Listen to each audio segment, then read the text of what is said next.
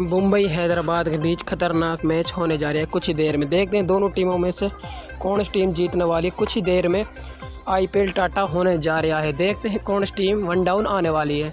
देखते हैं मुंबई हैदराबाद के बीच रोमांचक प्ले इलेवन खेला जा रहा है। देखते हैं कहाँ होगा मैच, कितने बजे से होने जा रहा है। पूरी जानकारी बताने वाले इससे पहले हमारे चैनल पर नए आए हो तो इस चैनल दिल से सब्सक्राइबर करो, वीडियो को लाइक करो।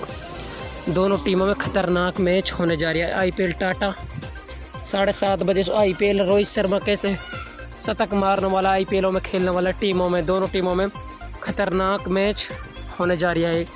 देखते हैं आईपीएल का साढ़े सात बजे से होने जा रहा है खतरनाक बल्लेबाज बेस्ट आईपीएल, टाटा आईपीएल का रोहित शर्मा मुंबई तरफ़ से शतक मारने वाला है। देखते हैं खेलने वाला है टीमों में।